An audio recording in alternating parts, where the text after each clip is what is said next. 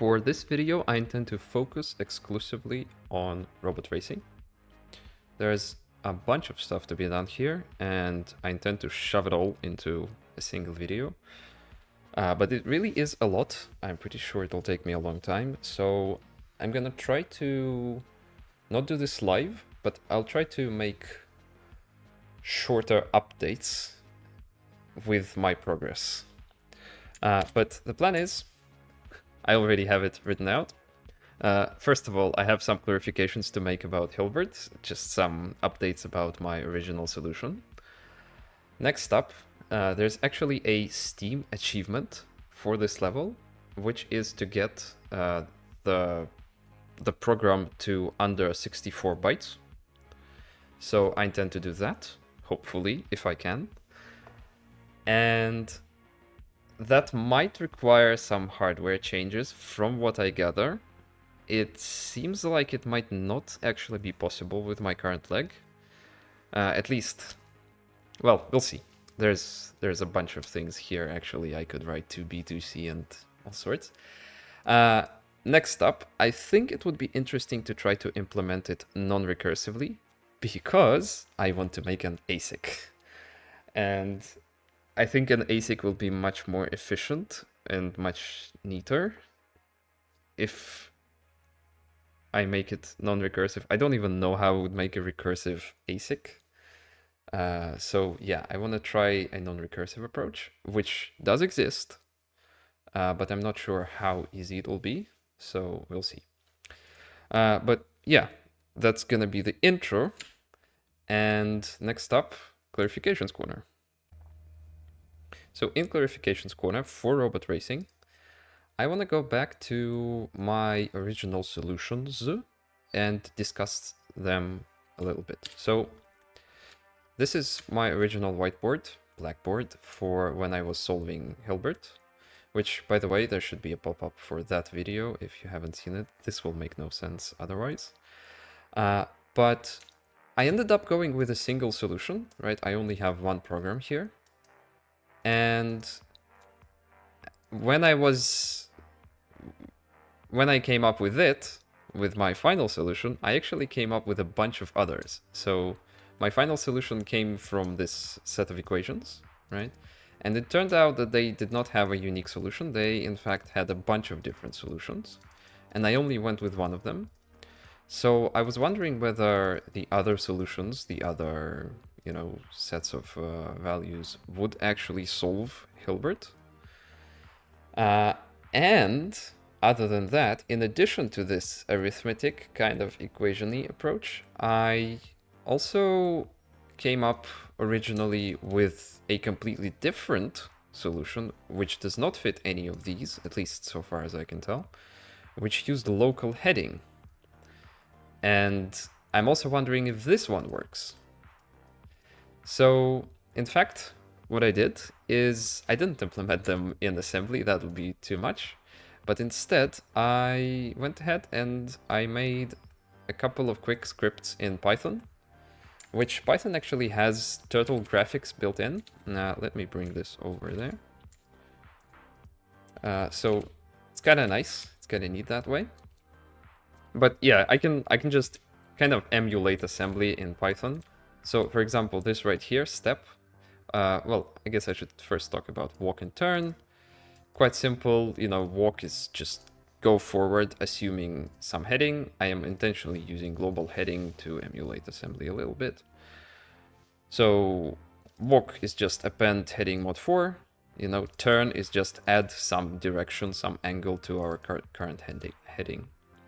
So the solution I ended up going with, the actual assembly I currently have as my solution to the level, is based on this pink formula. And it's exactly this function. Exactly this subroutine in Python. Right, so we turn negative direction, then we step with size n minus 1, and negative direction, then we walk, turn, so on and so forth, right? So this, this is just directly encoding that. But this is, of course, we know that this works, and what I'm actually interested in is this set of equations and this set of solutions. So just to remind you, uh, wherever that was, Uh, yeah, so this right here was my original kind of equation which I was solving. So I was assuming that at every point I can, I am turning by some unknown angle. So I designated A, B, C, D, E, F, G, H as unknown angles. And that gave me a system of equations, which I then solved. Now, that would correspond to this function, which I called step generalized. It's again quite simple. We have a turn by this a times uh, our direction because we have left and right directions, as you may recall, right? Which flipped, you know. Step R equals step L, R, R, L, and vice versa. So that's what this is. Uh, but yeah, basically this just means that this is either A or minus A. But yeah, at every point, I turn by some A, B, C, D, E, F, G, right? And we can take a look at the result. I'm just gonna show off maybe a couple. So these solutions are exactly these sets of uh, A, B, C, D, E, right? I have them all coded in here. I couldn't be bothered to actually implement them all at the same time. But I can, oops, I can just uncomment this and I can run my Hilbert.py. And yeah, the turtle draws the thing and it works. And in fact, it works for everything. So if I comment this back and I go down here and I uncomment the next one and I run it, Same thing. So yeah, all these solutions were in fact valid and they all worked except they kind of need different initial parameters. They they need different initial headings, right? So this assumes a heading of 3, this a heading of 1, of 2, and of 0, and uh, this is, wait, uh, kind of confused. No, 0, 3, 1, 2. So these are all step generalized. Now, the next thing I want to talk about is my original local heading solution. I'm not going to go into too much detail. I'm, I've already gone into way too much, I think. But still, this is... What the hell? This is my local heading solution. It's super asymmetric, super weird, but it uses, as you can see, local heading as a local variable right here. And this just directly encodes this formula and we can test this as well. I can uncomment this stuff. Um, comment this back and run it. There.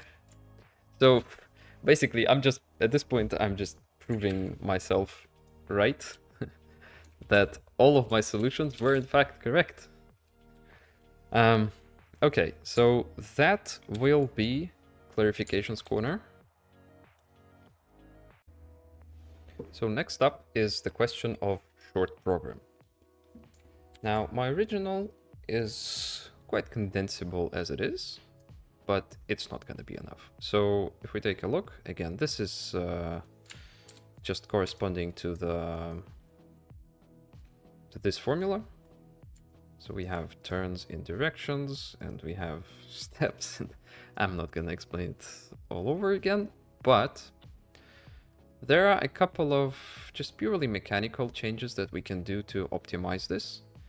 And the first thing is, since I implemented this, I actually added a call instruction to my uh, leg, which means I can just easily replace this with a call to step, which I'm gonna do.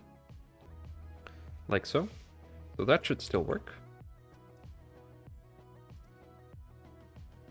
Yep. Right, so instead of manually saving... Wait, what am I doing?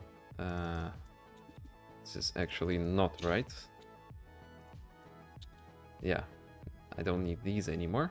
So yeah, it works, it works. So instead of manually adding stuff to the stack, then popping from stack, I can just use my cool new call instruction and it's, it's all good. Uh, that's not all. There's at least one, probably two or even more changes that I can make to this directly. So the first thing is, uh, I started size 4, so this encodes the size of the curve I need to traverse. Every time I call, I reduce size by 1. But then when I reach 0, I skip. I don't do anything. This is actually not efficient. It's, it's inefficient to call a function and then skip it if it needs to do nothing. Instead, we can just not call the function, right? And thankfully, my call instruction is already implemented as a conditional one.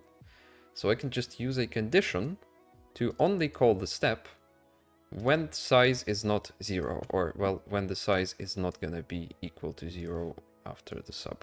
So what I can do is I can do not unconditional call, but instead I'm gonna do um, I only call if unsigned less equals size. Yeah, so if my size is actually one is not right. Uh, unsigned less than, I think, is correct gonna be. Suddenly turning into Yoda. Uh, is correct gonna be size 1 um, yeah, so we'll just not call when we would skip. Let me change all these and actually test that this works. Yeah, there we go. This works. And this is already shorter and more efficient. It's actually noticeably more efficient if I just press run. The robot is much faster, right? Remember how it was quite slow before? Yeah, now it's, it's pretty speedy. So that's another thing we can do, but even that's not the end of it. There's actually a couple more tricks we can apply to save some instructions right here. So the first thing is we can notice that right is all zeros. So I don't actually need to save zeros. I don't need to zero initialize my variables. They're already zero initialized. So that I do not need. Uh, still the same. But even that is not it. I actually do not need to initialize size either.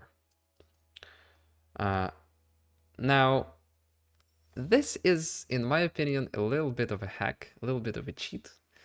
This is really hard coding the size of the maze into your function.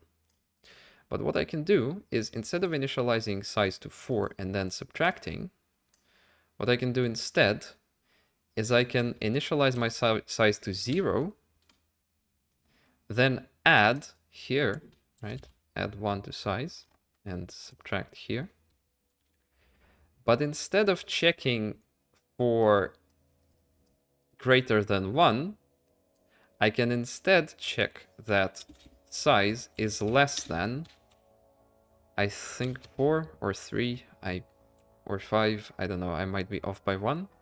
But hopefully the idea is clear, right? I just need to gauge the depth of my calls.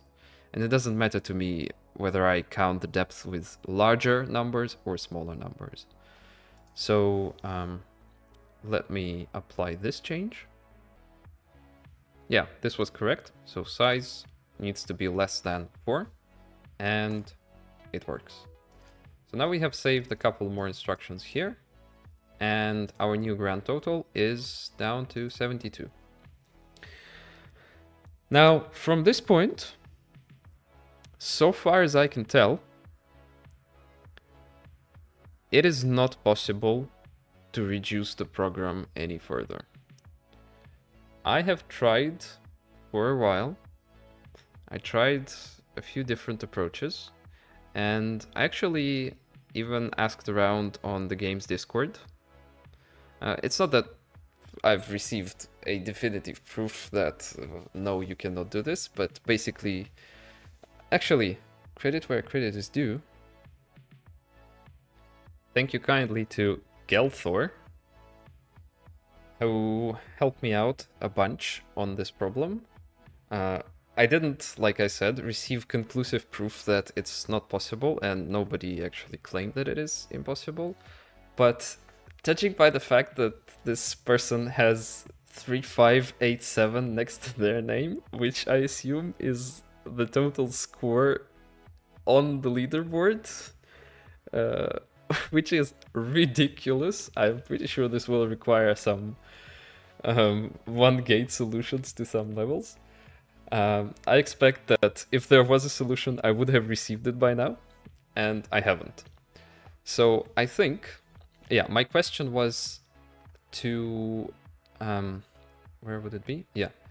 Is my approach compressible to below 64 bytes without altering hardware or doing something completely different? So absolute directions, closed form solution, whatever. So my my thinking is I want to do this properly. Obviously, I can write out all the directions in the program just using, you know, just just generate up, right, down, right, right, up, left uh, sequence, put it in the program, and then make an ASIC out of that. But that seems to be against the spirit of the achievement and the spirit of this level.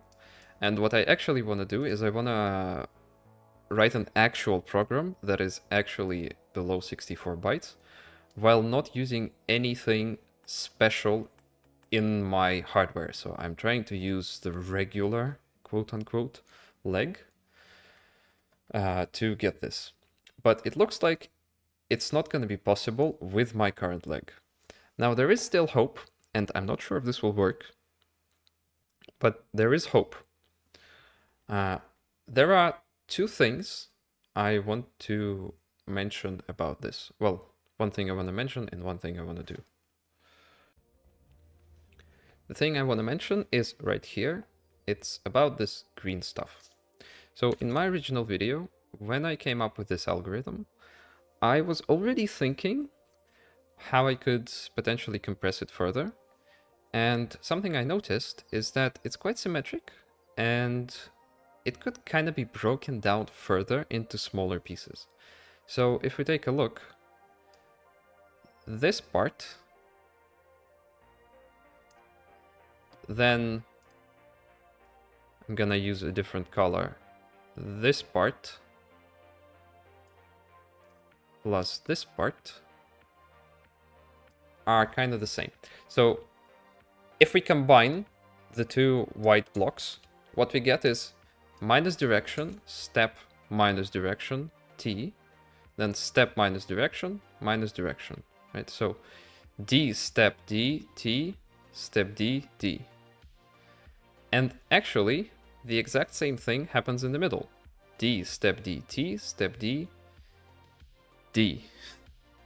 But then there's this tiny little t, which doesn't quite fit, but still, we can kind of add a circle, um, we can kind of separate, eliminate this part. And we notice that these two are equal to the one in the middle, which to me immediately screams, okay, you must reduce this, you must define the white stuff as its own thing, and just reuse it up to the sign at D, right? So here we have the sign is uh, negative, while here all, all D's are positive. And this is actually a valid approach. This is possible. This can work. And I did this with Python in the same way I did with my uh, optional solutions. Uh, let me show it, I guess. So I call it step fueled. Um, I don't know how common the idea of fuel is in programming. Uh, but basically when when you don't want your function when your recursive function to run forever but you don't actually have any good point when to stop. You can add a thing called fuel which you will just reduce at every recursive call. And then when you run into zero you're gonna stop making recursive calls. And this is kind of the same idea because my white block is actually gonna have to call itself, right? My my full thing will be calling itself, which leads to infinite recursion, and I need to know when to call this and when not to. So that's the approach. So this right here, direction minus direction, turn, step, walk, and then the outside are exactly the white blocks, right? Then this thing will call itself, and it's actually calling itself with the same size, right? Because I need the, these calls to also be the same size, except it is conditional on the fact that I actually need it, need inner, right? And when I call from outer, I need more inner stuff, right? I'm calling full steps, I'm calling full step here, and I'm calling full step here. But when I'm already inside, when I'm already in here, I only need the outer stuff, these two. I do not need the, the blue block in that call. So this is kind of the application of the concept of fuel. And it does kind of look short. And it is. It is kind of short. Uh, but, and it works. I guess I can show it off real quick. Inner, inner, yeah, step fueled right here. Remove this. Right, we can run it again. There. This also works. Um, it looks short. It's kind of neat. But the problem is, I'm cheating here. Because these true and false, in Python, I am using a local variable. Right? I am overwriting a local variable with a constant true, with a constant false.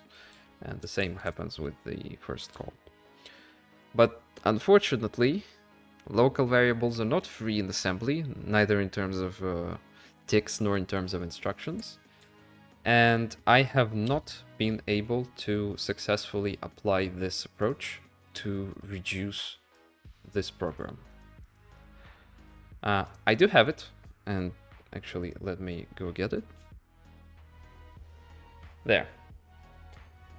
I'm not gonna go into the details, I've, I think I've already explained enough Python, but this is essentially what I just showed, except translated into assembly. Um, the difference is, instead of using true and false, instead of using those uh, local variables, I actually need a variable uh, a global one, which I push onto stack. Then I reset it, and then I pop it from stack in order to make sure that it hasn't changed uh, in the meantime in the other call. Um, yeah, so this is it. But unfortunately, and this is also this is also applying all the other reductions I've explained before. This is also using size less than uh, four, uh, which actually this is less than or equals. While that is less than. That's weird. How? No, but this works, I know. Wait, give me a moment. I just I just realized this is completely unexpected, but it turns out unsigned less than also works. Somehow it also solves the maze. But it's not it's not efficient. It's it's a dumb robot that actually does a bunch of weird stuff in between. But then it proceeds to actually solve the, the level. Right? It's sometimes it stumbles. Yeah, okay. So yeah, we want less equals here. We want less equals here. And we want less equals here. Yeah, that'll be that'll be much faster. Yeah, this is a smart robot. Actually, let me change it here as well. There. Works. So yeah, this kind of two-level approach does work, but it's exactly the same in length. 72, 72. And I have not been able to reduce either of them. So now comes the second part of this part in which I intend to make changes to hardware. Um, this was suggested again by um, Gelthor. At least it was hinted to me. Uh, and I, I can definitely see how, how it will be helpful. Uh, I can make a pretty reasonable change to my leg, which will allow me to reduce this, probably. I, I think so.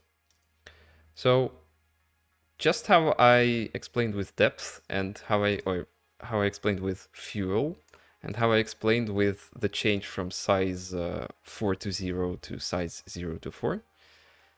I don't actually care what this number is. All this number does is it gauges the depth of recursion.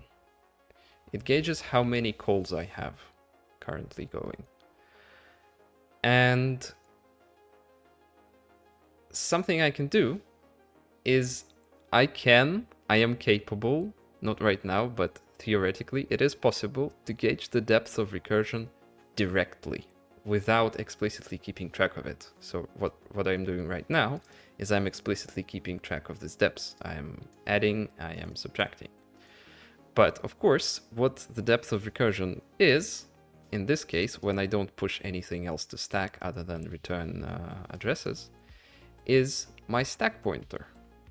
So on my st st stackgister, in my stack stackgister, I do have this thing, which is a pointer to where I am in the stack. But right now it's completely encapsulated and I cannot access it. I cannot read it. I cannot write to it. And if I were to be able to read it, then theoretically I might not need to keep track of this, to do this, and instead I should be able to just compare my depth directly, you know, stack pointer, something like this, to 4. And that will save me exactly the two instructions I need to save in order to get down to 64. Um, unfortunately, the Steam achievement says less than 64. Not 64 or less, but less than 64. And I'm not entirely sure if this will work. But I'm still gonna try, and I still want to make this change to my leg. I want to add an ability to read and write to the stack pointer. It seems like a very reasonable change. So that'll be the next thing I do. So what I'm gonna need to do, what I'm gonna want to do, is I will want to expand my stack. And I will be adding a whole new register interface thing which is going to be the stack pointer right? Um, I want to be able to load from it. I want to be able to load to read to 1 and to read to 2. And while I'm at it, I think I might as well implement an, a way to override my stack pointer. Now, to be completely honest, I really dislike the idea of overwriting the stack pointer. But it doesn't really cost me much, so I think I might as well implement it. And yeah. Mm. Now, this is not going to be a difficult challenge per se, but it's going to be a difficult wiring job. So yeah, what I need is I need two more inputs like so. I want another input for my override value and I will also want two more outputs here and here to get my value. I'm not sure how I'm gonna position them. I'm not sure how I'm gonna wire this, but I'll spare you the details. I think this is simple enough. And I'll be back with an actual working solution to this. So what I decided is that probably the most reasonable behavior for this, for the stack pointer register interface, you know, the ability to read and write the stack pointer, is gonna be it's gonna be as follows. There's there's two parts to it, of course. Uh, I need to be able to read and I need to be able to write the value of the stack pointer. Now, reading, I decided will be entirely trivial. It's a very simple basic operation. All I do is I gauge the value of the pointer at the beginning, at the start of the tick, right? Or at the end of the previous tick, if you will. So everything that happens in the tick, pushing, popping, whatever happens, does not affect the value I get when I read it, right? So it's just read directly. And kind of the inverse is true of writing. So when I write to the stack pointer, when I overwrite it with this value, this is the value, and this is the enabler for that. Uh, what happens is, again, everything happens in the tick as normal, but the overwrite happens at the very end. So we still push, we still pop to the addresses we would expect, you know, to the previous address plus one or previous address minus one, and it's saved in memory at that address. But then, uh, well, actually, pushing will not happen, but popping can. Uh, so yeah, if I were popping, I will pop the normal expected value. And then at the end of the tick, this thing will get overwritten by its new value. Um, so yeah, it's this was a little bit of a tricky wiring job. I don't know if I want to go into the details.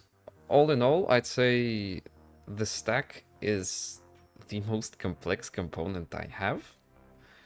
Like, this is a huge mess of wires, but they are all pretty necessary. And I don't see any reasonable separation here, any reasonable, you know, way to, um, you know, split it into constituent parts. It just, it's just all one big uh, system, a pretty monolithic thing. Uh, so, yeah, um, I guess one semi-interesting thing is this here. This is a decoder for the stack operation. And what it does is it orchestrates all these switches and muxes and it ensures, you know, these are three bits, right?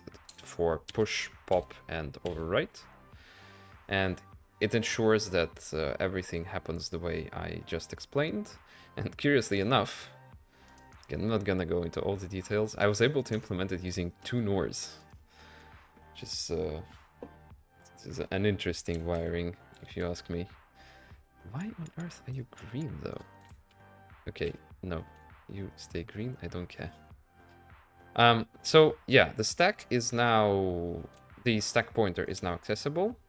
And like I said, I've already tested it, but that's not actually the end of all the changes I made.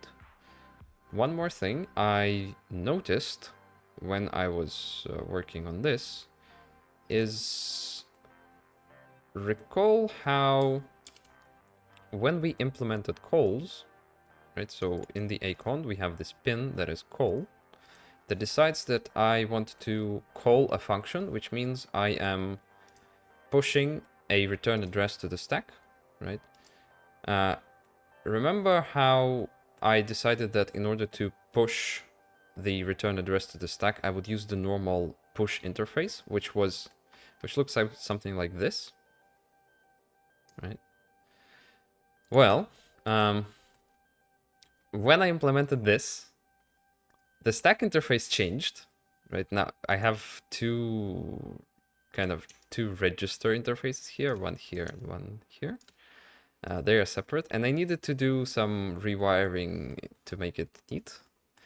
And it took me like, I don't know, 15 minutes to figure out what the problem was, because it was somehow inexplicably broken. And what I realized is that this thing uh, was now in the incorrect spot when I rewired all this, and I just forgot to move it one over. Um, so yeah, that's that was the point when I realized it was not a good idea. And I decided to bring it inside the stack. So now instead of going down here and enabling the thing from the outside, from leg, what I do is inside the stack, when I am calling, so when this call is on, uh, I am also effectively pushing. So the push line, this green thing, is an OR of push or call. So that's that for the stack.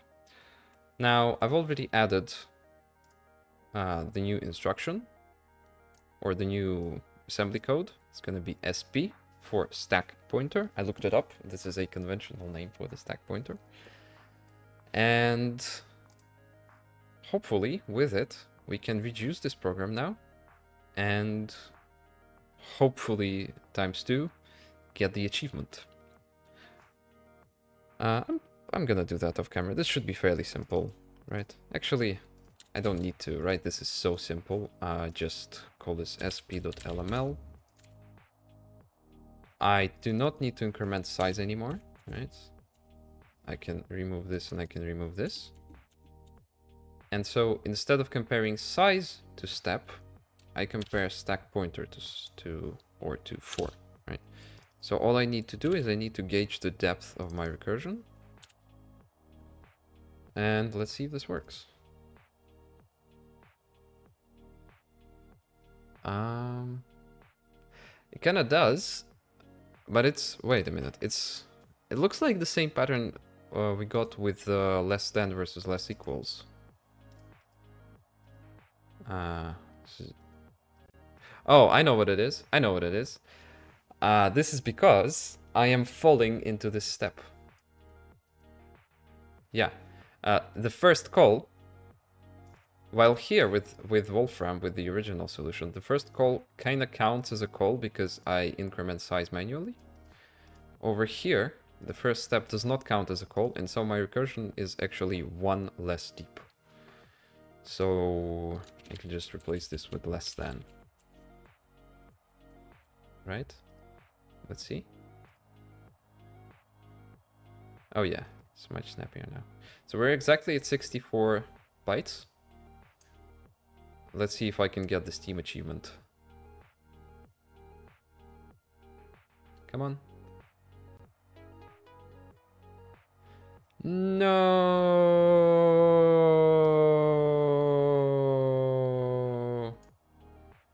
I need 63. Well, I need 60. I need to remove one more instruction from this. And I do not know how. Maybe my fuel solution will work? But this is more complicated. This is more complicated because I need to call this thing without increasing recursion depth. Hmm. And I don't think that's possible, right? So what what I do here is Th this needs to be called at the same depth as these guys. Uh, but it needs to be called conditionally, and that's not just the condition on the depth, it's also a condition on whether or not it's inner. Uh, but I cannot... Huh. Right, I can reduce... I can remove this, kind of.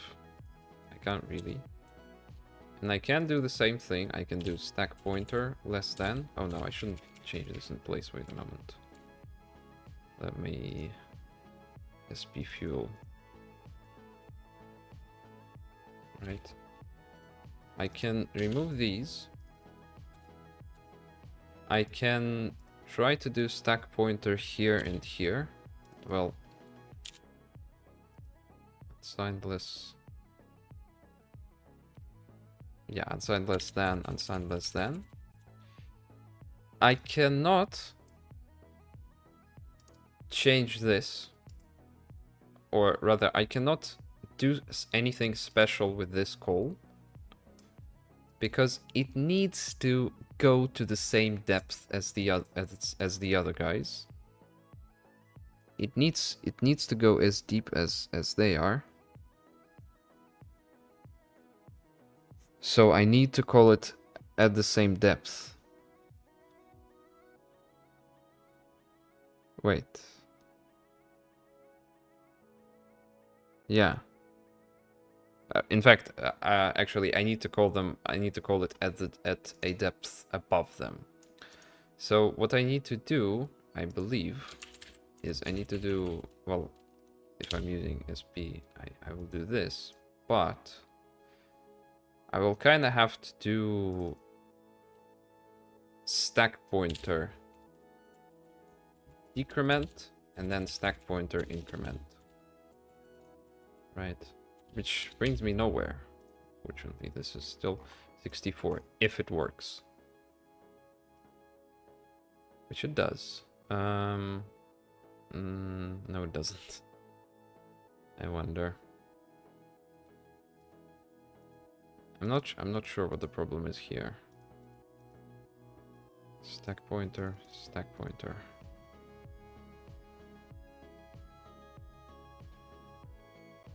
Decrement. Oh no, I cannot. I cannot afford it, of course, because the stack pointer. Stack pointer is not just size. I use stack pointer to know where to go back. No, but still. Oh no, but if I if I decrement it, then when I call now. Wait a minute. Okay, how about maybe I could do something. I'm I'm not gonna do this live. I'm gonna try to do this off camera, but an idea I just got is I might be able to save an instruction here somehow by manually pushing a return address to stack and calling manually with a with a um, yeah, well, you know, you know what I mean, the without using the call instruction. So the call instruction kind of takes away a little bit of flexibility from me. Although it does save me an instruction. But since I am already trying to do some shenanigans with the stack pointer, perhaps I would be able to save here.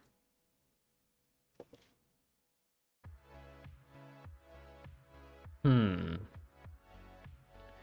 No, I'm afraid not. I don't see anything I could do here. I've I've been here a while and I cannot find a way to reduce this below well this one I cannot reduce below 68 so I did get it to work with uh, uh, stack pointer comparisons by using a variable depth to which I go, right? So uh, instead of keeping track of size and instead of uh, manually ma manipulating my current size while keeping the size limit fixed, instead I don't manipulate my size, but I manipulate my limit, right? So I increase the depth limit by one and then I decrease the depth limit by one for this one, which means all these guys will get called as usual. Uh, this actually doesn't exactly work because, well, it does somehow work, but it's not exactly perfect because uh, there's actually other stuff on the stack. So I put uh, the no inner variable onto the stack, and if we take a look at this, yeah, see, it it actually does some weird stuff once in a while, but in the end it works, similar to how less than versus less equal equals works. Yeah, and again, the problem is I cannot uh, use the depth of the stack, the size of the stack, the stack pointer, as a reliable way to determine my recursion depth, because there's other stuff on the stack than the recursion depth. But yeah, like I said, I'm afraid I am unable to reduce this this one below 68 and that one below 64 which is unfortunate. I really don't know what else I could do. And it looks like I am going to have to, at least for now, maybe later in the video I'll figure it out, but I'm gonna have to leave this one unfinished. I'm, I have to give up, pretty much.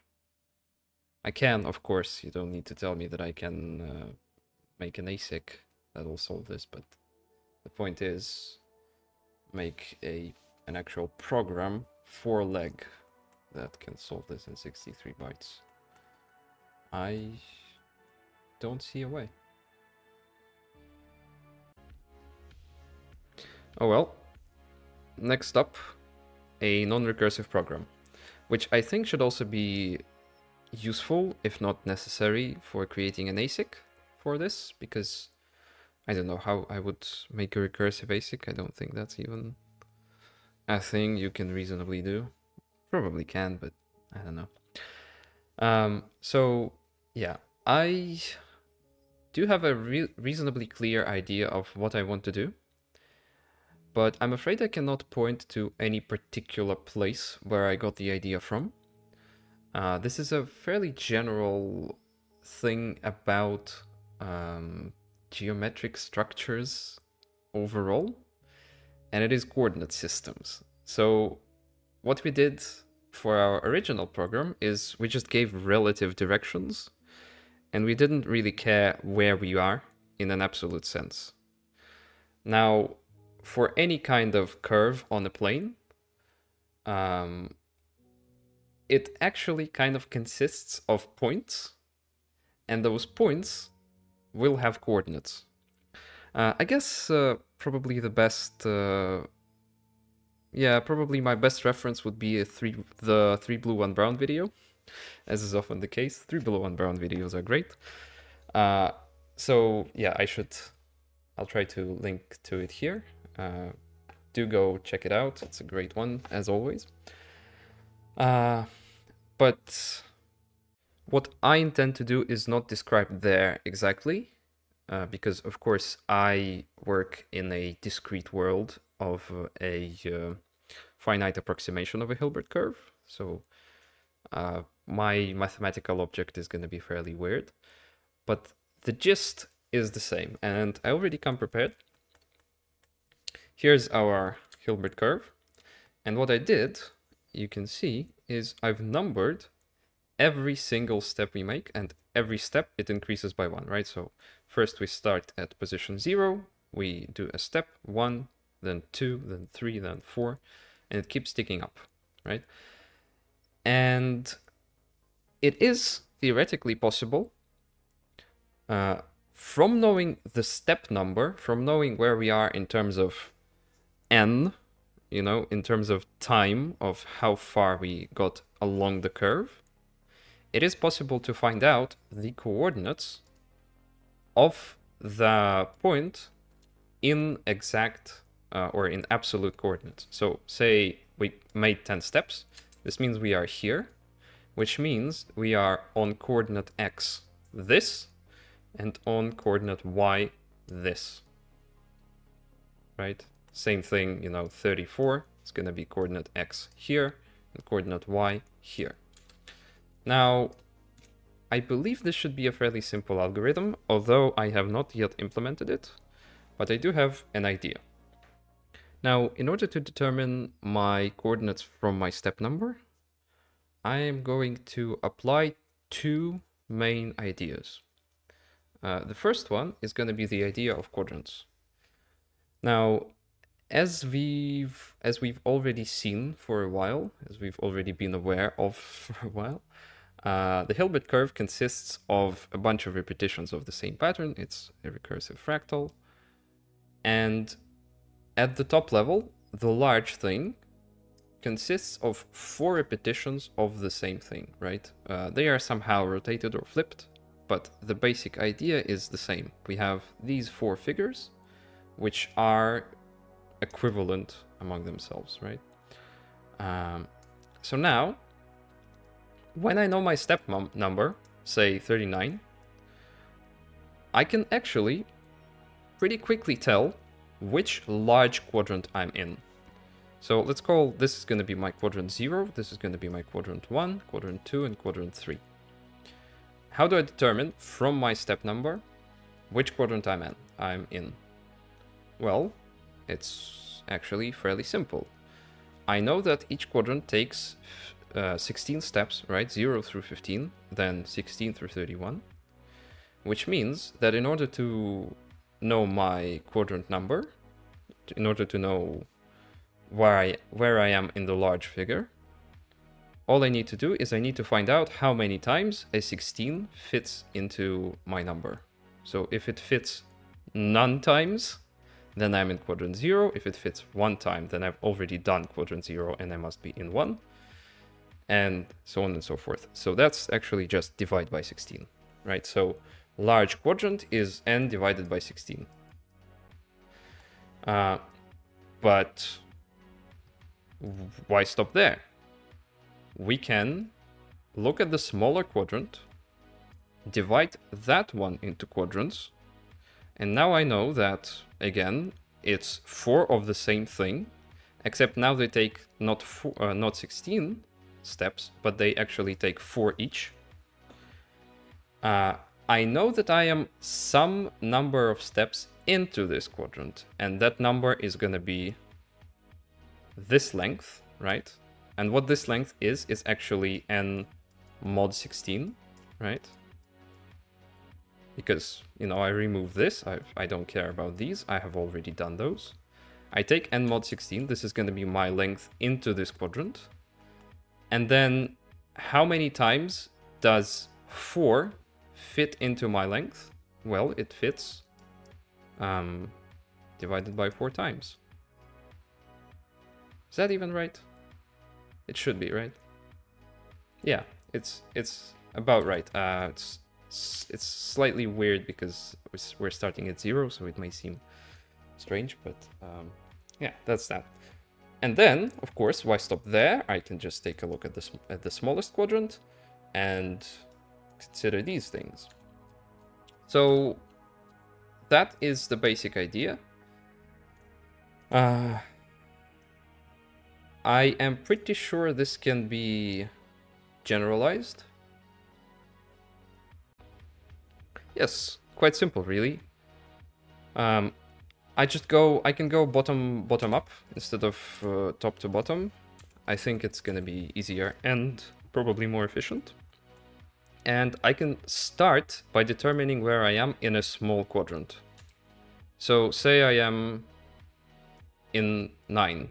This means I need to find out that I am at step, uh, at quadrant. This is going to be, so it's a bit difficult to show, but this is this direction, which means 0, 1, 2, 3, right? Which means that 9 is a 1. This is a quadrant 1 on the smallest green scale. Now, it's, it's quite simple, really. I know that every smallest quadrant is four steps. So how far I am along in my current unfinished small quadrant is going to be just n mod 4. So 1 is n mod 4. But now that I know this, what I can do is I can do n div 4, right? Well, n, n equals div 4 and div 4.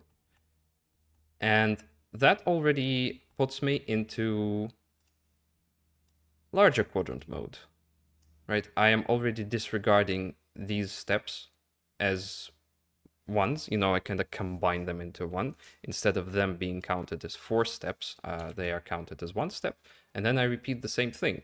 I basically consider, I'm running out of colors here, but um, basically consider this is one step, then it goes here, right? Then it goes here, then it goes here. So 0, 1, 2, 3. And now n div 4 mod 4 is going to be my blue position. So it's going to be this quadrant. Hopefully this makes some sense with the mess I'm making on the blackboard. Some Something along those lines.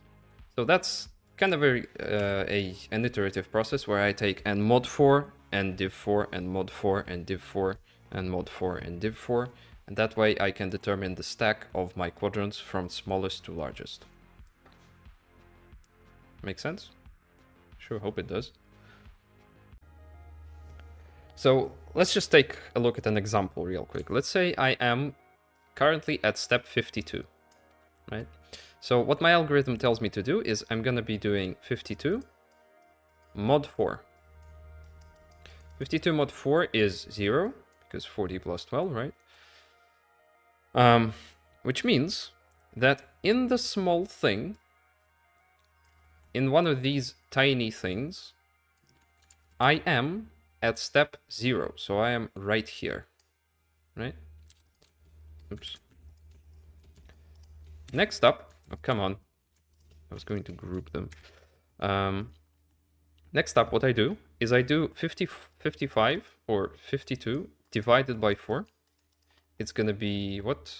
Uh, 4 plus or 10 plus 3. It's going to be 13, right? Uh, and essentially what this does, what this divide by 4 does, is every small thing like this turns into a single dot in my picture, in my consideration. These are dots. And I am moving between them.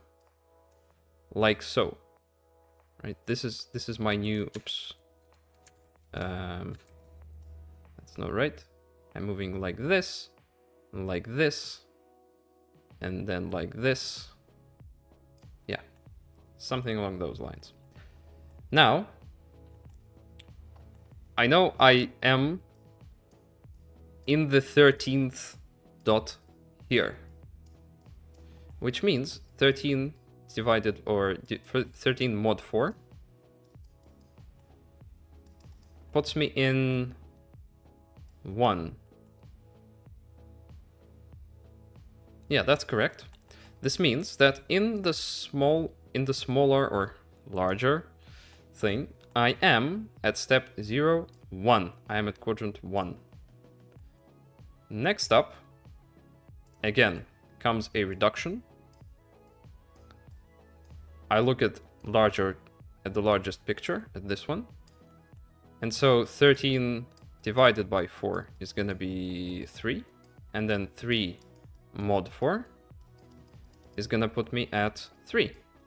Which means that in the huge picture, I am in point 0, 1, 2, 3. I am here. So, in terms of quadrants, I kind of know if I take a look, uh, if I take these and I combine them, I know that I am here in the big picture. Oh, come on. I am here in the big picture. Next, I know that my big picture consists of smaller pictures, which means it goes kind of like this. And then this thing is itself uh, consisting of smaller pictures like that. And I am here. So I can kind of draw, you know, a path to, or that's not, that's not exactly right, but I can determine my position from relative coordinates. Now, this still lacks a major part of the puzzle because, of course, when we take a look at the actual picture, this is not what we see. What we see here is this thing is flipped. Um, I cannot flip it the way I want to. It's flipped like so. right? This is it. This is the thing. And we are here. But that is correct.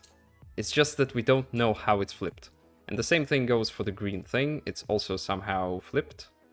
Uh, yeah, it, it is flipped like so. Right? And then we know.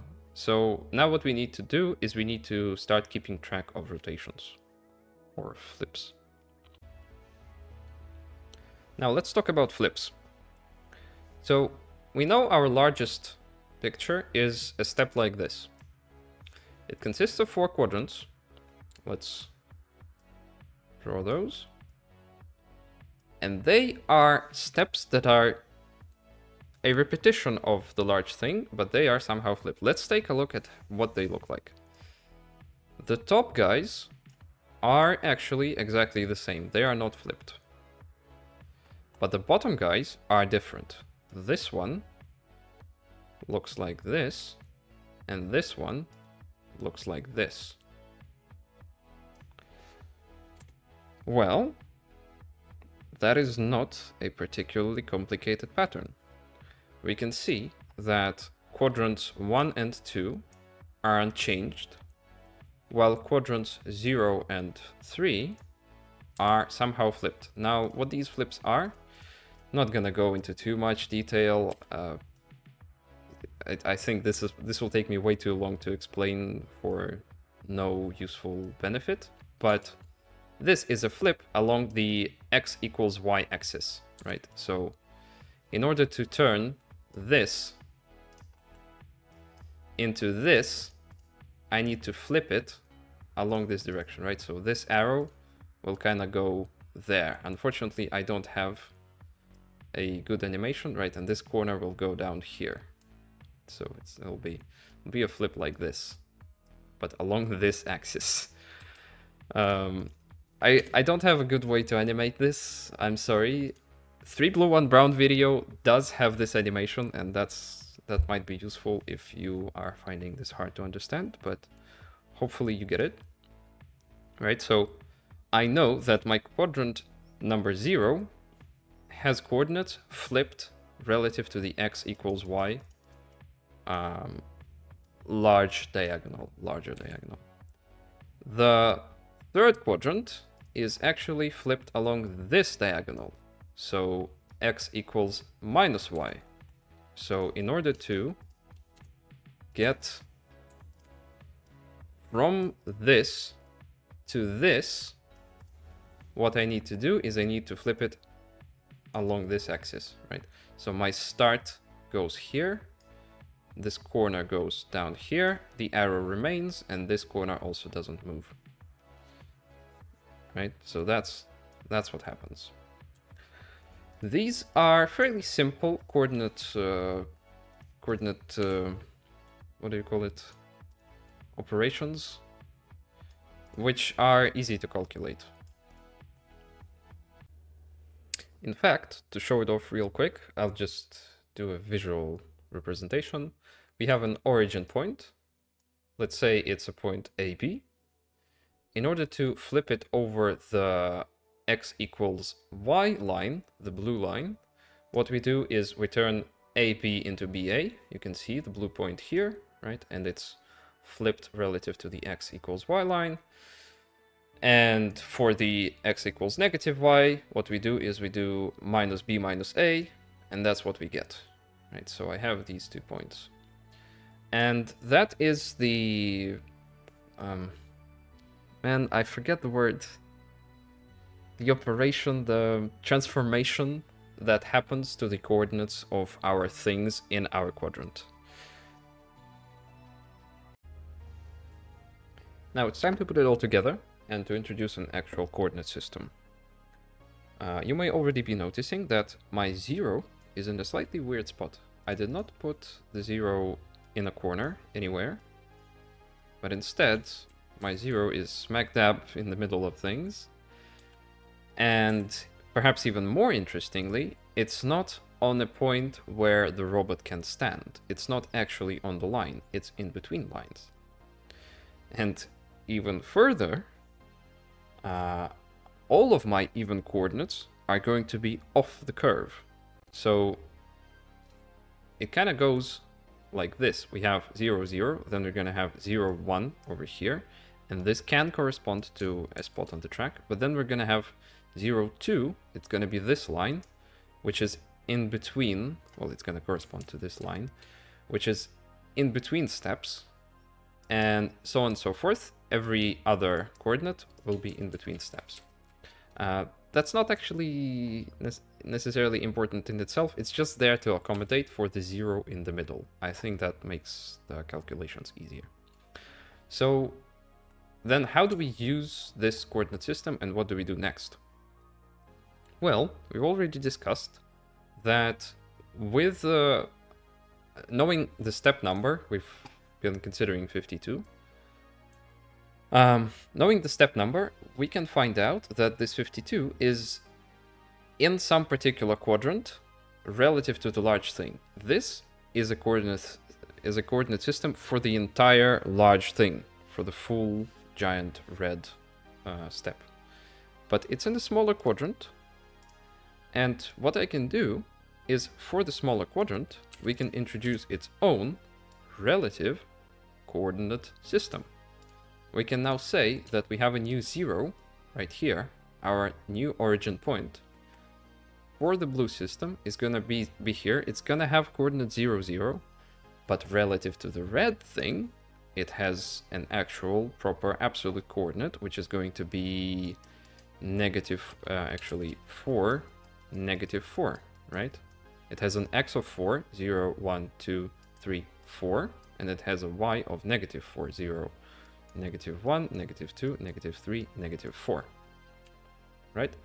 So now, uh, let's just say, let's not go into the details of how exactly we're going to do that. Let's just say that for this coordinate system, we established that our 52 is right here. It's going to be in coordinates uh, negative 1 and 1, 2, 3. Negative 1, 3, right? So minus 1, 3. Now, this is still relevant relative to this 0, to a different origin point. But what we can do in order to make it relative to the actual origin is we can just use vector addition. We know that our 4 negative 4, or we know that our origin point is actually 4, negative 4, and from it we go to negative 1, 3, which means that adding these together, we're going to have 4, negative 4, plus negative 1, 3, is going to equal 3, negative 1. And if we check, we may notice that that is in fact correct. 1, 2, 3. So down on this line and negative 1 on this line. Here we are, 52. So this already kind of sets out a recursive procedure for how we can determine the coordinate of our point relative to the big thing from determining wow um, from from determining relative coordinates determining coordinates relative to smaller things, we can determine the coordinate of the point relative to larger things, which already, like I said, defines our recursive computation. Now, the only question is, where does recursion stop? Um, well, no, there's two questions. Where does it stop and how do we actually perform it? Uh, the stopping should be fairly simple. At some point, we are going to end up with just this tiny thing. And for it, we just know that we have, you know, negative 1, negative 1, negative 1, 1, 1, 1, and then 1, negative 1, and those are coordinates. However, there's one more issue that we need to take care of, and that is rotation. Let's just carry out an example computation with our 52, which we've already determined that its smallest quadrant in the green things is going to be 0, and in the blue things it's going to be 1, and in the red thing it's going to be 3. So since we know that in the green we are at 0, this means that our coordinate relative to this green system is going to be 0, just to remind you. This is what we are, this is our 0, this is our coordinate system, which means negative 1, negative 1, right? This is what we'll have. Next, for the blue thing, we will know that we are in quadrant 1, which means that in the blue thing, let me make it larger, we are in 1, so over here. But the center of my new, my smaller coordinate system is going to be, is going to go like, it's, it's going to look something like this. And the center, this point here, is going to be double the previous thing. It's going to be um, negative 2, 2. So this is negative 2, right? We, we have a point in here on which we can actually stand and this is 2 and this also has a point on which we can stand right? So something like this. So this origin is negative 2, negative 2. So we know that negative 2, come on, negative, I can't type comma apparently, can't type apparently, negative 2, 2. And for quadrant 3, we know that the origin of the blue thing in it is going to be, quadrant 3 is this. So we can just take a look here. I'm, I'm just eyeballing it right now. Of course, this is all generalizable to very simple mathematical formulas. Uh, this is going to be 4, negative 4, right? So 4, come on, comma, negative 4. This is red, and that is green. So that, this right here, is the sequence of origins relative to which our coordinates happen. In fact, this negative 1, negative 1 can also kind of be seen as an origin of the coordinate system in the middle of which we are, but it's kind of just a generalization thing. So now from these, I'm going to need to establish the actual coordinate relative to the red. We're going to be going bottom up, and the first thing we're going to do, well, bottom up like, like so, uh, and the first thing we're going to do is we're going to determine the coordinates of our point in question relative to the blue thing, right? We already know the coordinates relative to the green thing, and we'll need coordinates relative to blue, then relative to red. So we know that in green, we are negative 1, negative 1. This is our green setup. However, since we know that this green thing is inside quadrant 1 relative to the blue, this means that relative to the blue, it is flipped. Actually, no, sorry, it isn't. Uh, we're lucky, quadrant 1 is not flipped. So we can actually just do our addition without any flippage. So relative to blue, our coordinate is going to be um, negative 2, 2, plus minus 1, minus 1, and it's equal to negative 3, 1, right?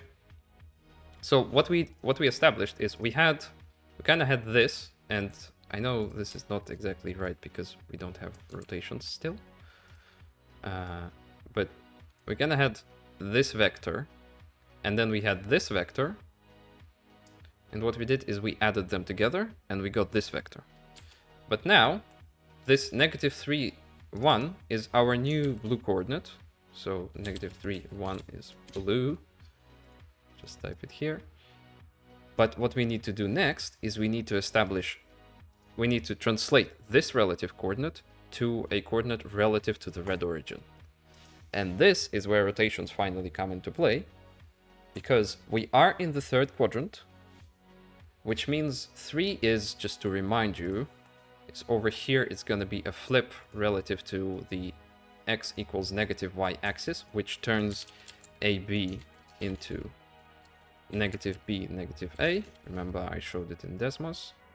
I don't know how to pronounce Desmos, just realized. Um, so we need to flip this thing just like that, which means we get negative 1 and 3. Right? So what we did is we had our thing. It is in the coordinate system. I cannot actually show flippage. So we knew that it's here. We knew that it's this vector, right? And before actually adding it to anything, we need to flip it, or I'm emulating flippage with rotation. We need to do something like this. And doing that is this formula, so that's what we do, negative 1, 3.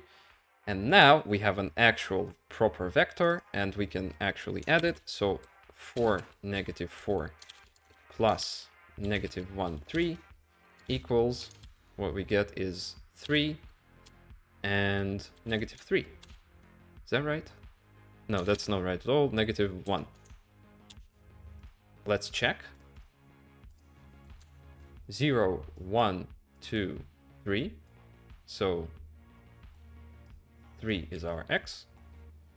And then negative 1 is our y. And where do we end up? Exactly where we wanted to. Exactly where we expected. Um, as is often the case, I am aware my explanation is not complete and not perfect, but I cannot really go into all the details of everything. Hopefully this makes some sense. I'm going to jump to the next part now. Next part being a Python implementation of the algorithm we just discussed. So I went ahead and implemented this thing. It's a single function. You can see it's fairly short, although it looks short in Python, but I'm pretty sure compiled into assembly this would be huge. uh, but that's a problem for later. Uh, right now, let's quickly discuss this one. Um, so yeah, we take as input a single number. This is going to be our step number along the Hilbert curve. So 12, for example. And we spit out the pair of coordinates we are actually at relative to the top level coordinate system. So how this operates is fairly simple. We go bottom up and we iterate over all depths as we have to. So this thing, 4, uh, kind of corresponds to iterating over all sizes like this. Right, so we start at the green size, then we go to the blue size, then we go to the red size, and so on if necessary, but it isn't for our, in our case.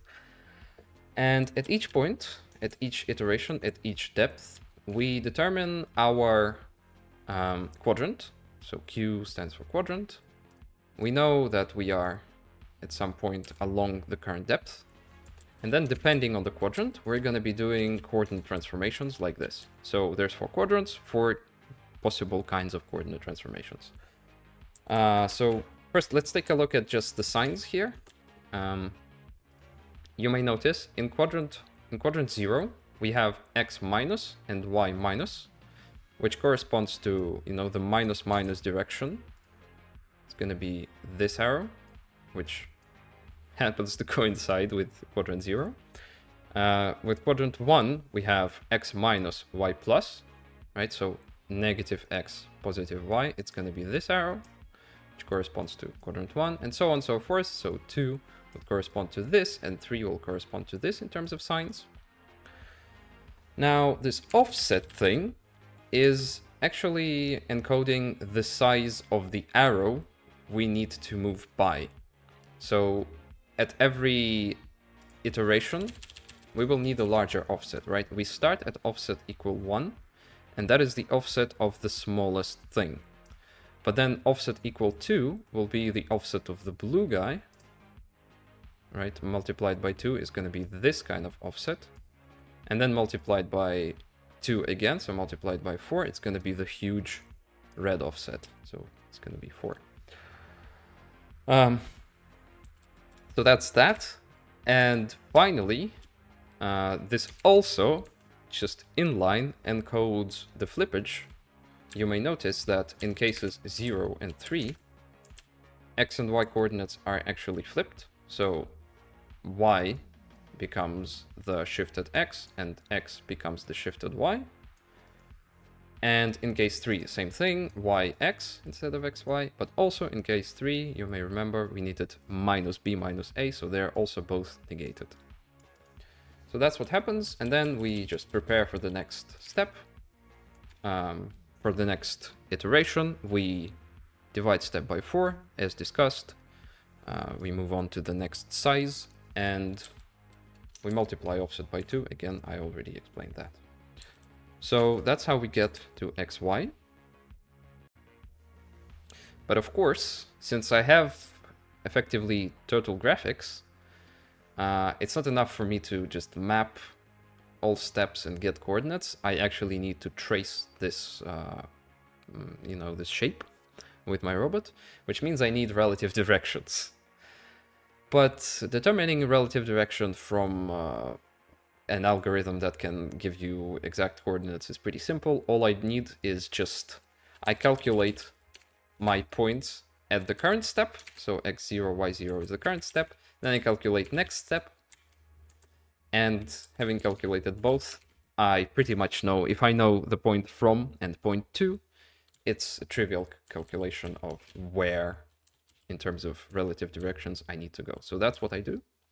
Uh, this is just, this is a naive implementation. I expect to optimize this uh, in, the, in the future. But yeah, if we take a look real quick, steps from XY run, let's check this out. Lo and behold, it all works. It draws Hilbert curve of the order we need. So this is all good. However, I don't think this will be an efficient solution. Yes, I could optimize this a bunch, or at least a bit, especially in the steps from XY part, uh, where I call the function twice instead of just, you know, uh, calculating the next step and keeping track of the current step. Uh, but still, I would like to improve this somehow. So here's an idea.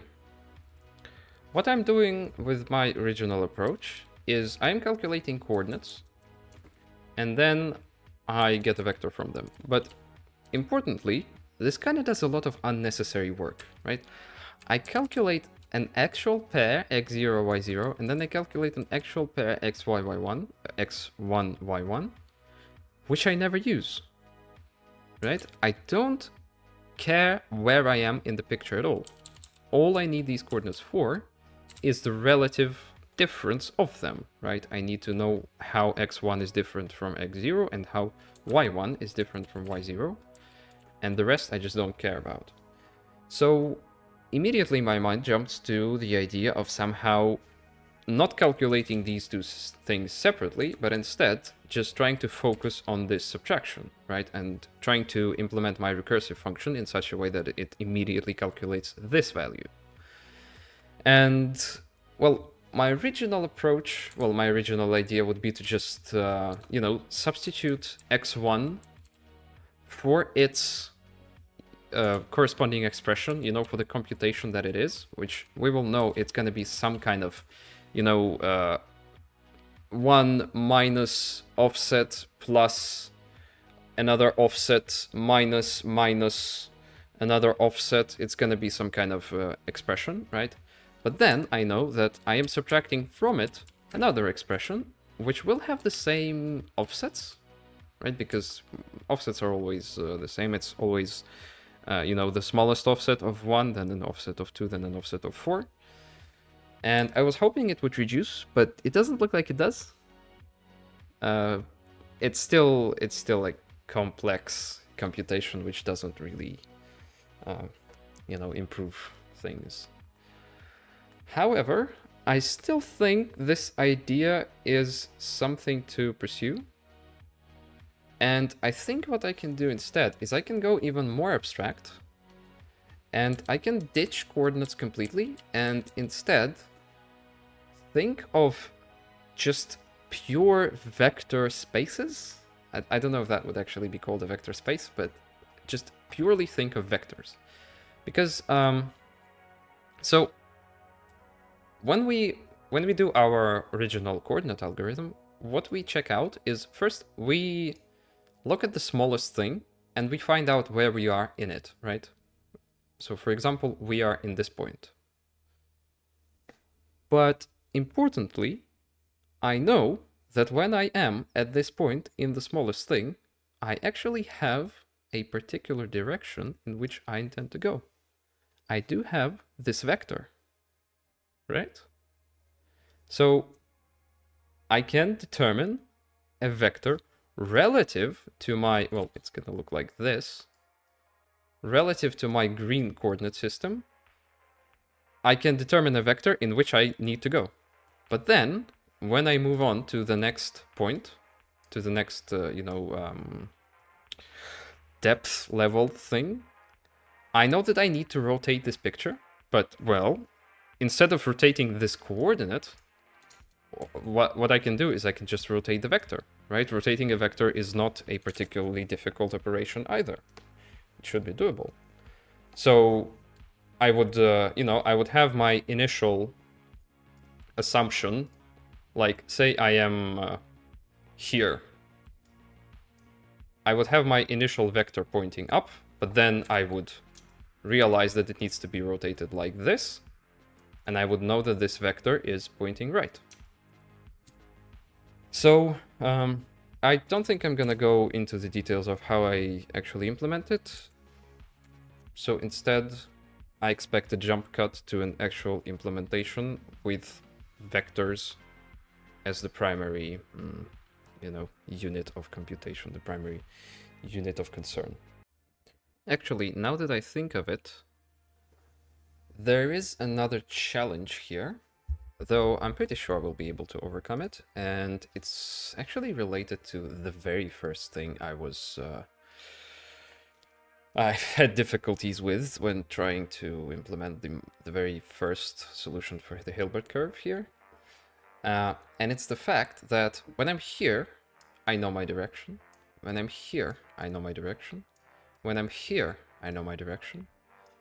But when I have completed my current um, step, I don't know where I'm going, right? Here, I, I'm going to the right, well, to the left really, whilst here, I am going forward. And that cannot be established from just looking at the small picture. This needs to be established by looking at the large picture. However, I, I still think this should be pretty simply overcome. And all I need to do is I'm going bottom to top. You know, the, what's what's it called? Yeah, you get the idea. Um, and once I have analyzed my small thing, if I realize that I am in the third quadrant, I just still don't know what my direction is. And I reduce right here. I turn this into a point. And then I try again. And that will be my initial direction. And this is kind of the concept of getting out of the step. Right, going out. This is the arrow out of the step. Um, so yeah, right here, if I am in third, I didn't know, but now that I have upgraded to the larger picture, I know because essentially I am in the very first part of my blue thing, right? So, and the vector is actually exactly the same. It's, it's, uh, since, since all my vectors are the same length, they are length one, uh, I can establish this quite easily. And uh, again, if I were, say, in 15, right here, then I still don't know, but this entire thing reduces to a single point, and I go up to the red picture, and then in the red picture I know, because there I am, right? And then at the very end I don't know where to go, but that is entirely reasonable, because the end has nowhere to go. So I think this should be reasonably simple. Oh yes, check this out. So we have our four directions. We have right, down, left, up, and they are encoded by numbers. This is just what's given to us by the, you know, fastbot interface. And these are essentially our direction vectors. They're not, they don't exactly look like vectors, but they are. Uh, they, they just encode, you know, unit vectors for, mm, well, you know, right is this, and down is this, and so on. Um, and I can literally work with them. So that's what I do. Hilbert vector takes a step input, takes the, again, the number of how far along the Hilbert curve we are, and what it outputs, it is it outputs that vector. So this is exactly what we want now. And this consists of two loops. I couldn't figure out how to compress this into one loop, so that might be a point of future improvement. But for now, uh, the first thing we do is this loop just skips all third quadrants. So we started at the smallest um, step, at the smallest size. And if we are in third, right, so if q is equal to 3, then we loop and we reduce. So we do step divided by 4 and we get our new quadrant, right? We go to this picture. Then if this picture is also also comes out in third, then again we loop and so on and so forth until we find some quadrant that is not third. This is what I just explained because uh, the third from the third quadrant we cannot establish where we actually need to go. Um, so that's what happens. This just skips all the small third quadrants, right? Now, next thing, we have found our initial direction, which happens to be this. I'm not going to go into the details uh, of how exactly these pluses and minuses work here, but essentially they are kind of rotations. It's just uh, instead of having a match clause like we had here, you know, uh, we could match quadrant with, you know, check quadrant 0, quadrant 1, quadrant 2, quadrant 3. It just so happens that I can reduce this case clause into this case expression into a single arithmetic thing like this. I, I'm not gonna explain it fully. I'm not gonna prove it. It works, just me. so yeah, this, this way we can initialize our direction. So again, this means we have found some point along some level for which we know a definite direction, like this. So that is our initial direction. And next, we start the second loop. And what the second loop does is, having already got the initial direction, we no longer set it, we no longer uh, reset this direction to anything new, but instead what we do is we do rotations.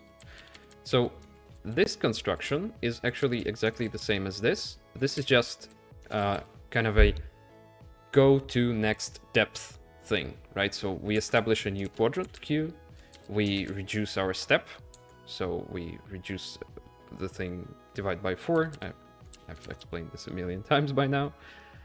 And uh, yeah, D also corresponds to how far I have gone in my depth, because I need my depth to be at most three at most size, right? I do not want to go beyond the red size. I start at green size, then I go blue size, then I go red size. And what this D keeps track of is that I don't go further into some huge size. So that's all it is. And yeah, once we have established the quadrant, we know that the top two quadrants, so quadrant 1 and quadrant 2, need no rotation, right? They are exactly the same and they have the same uh, orientation as the big thing. However, the zeroth quadrant and the third quadrant need rotations, so that's what we do. If our quadrant is zero, then I rotate my vector, and again, this 3 minus direction is just a reduction of a match clause on Q, match uh, expression on Q. Same thing here, 1 minus direction just happens to correspond to a certain match thing on Q. And what these do is they rotate my vector in the direction I need them to be rotated. And as you can see, that's actually it. I already have my result.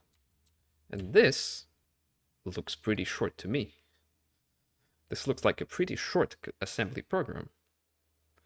Uh, not to say it looks like an even smaller ASIC, but we'll get to that later. Um, so yeah, then I just returned direction and I made a quick uh, wrapper to actually go over all steps and we can run it and we can check that it does in fact still work. So now it's time to get back to the game. Well, I am afraid this still wasn't enough. As you can see, I am at 68 bytes here, and so far I haven't been able to reduce this any further. Uh, but this does work. This is an, a compilation of this algorithm to assembly, compiled using my head. uh, so I guess let's go over this real quick. It's uh, mostly the same. So we have two loops still. This is our first loop. This is the while true thing. Uh, we search for a quadrant that is non-3, otherwise we keep looping. And this block of code, you know, the increment of my depth, uh, get the next quadrant and then uh, divide step by 4. Since it happens twice, I decided to encapsulate it as a function, or whatever the word would be, generalize, whatever, abstract. So this is essentially a procedure, next quad, this gets me my next quadrant, because and it's it gets called twice. This unfortunately this doesn't actually save anything. This doesn't save me any lines of code, any bytes, uh, because of the overhead of uh, the function return and calling the function. This kind of costs, not kind of, this does cost exactly the same as if I had this in line twice. I just decided this would be somewhat cleaner. So yeah, this is the first loop. It does this until we find a quadrant that is non-3. Next, exactly the same thing. Direction equals quadrant plus 3. And next, this is a slightly interesting thing. Uh, the more natural construct, as we've already seen for assembly, is a repeat until. You know, the more natural loop. You have a label, then it does the first iteration always, and then it can loop back if some condition holds. So that would be the equivalent of a repeat until. But here, I necessarily need this to be a while. And uh, that's that's because I don't want to do this uh, too many times. If I already know that I, well, no, if I have only found direction when I'm already at the very end and I don't need to rotate anything anymore, and I don't need don't want to do any iterations of this at all. So this necessarily is a while, which is a construction like this. Uh, when I enter it, I enter it at the end, and then it checks and jumps back. So it's it's it's another unconditional jump.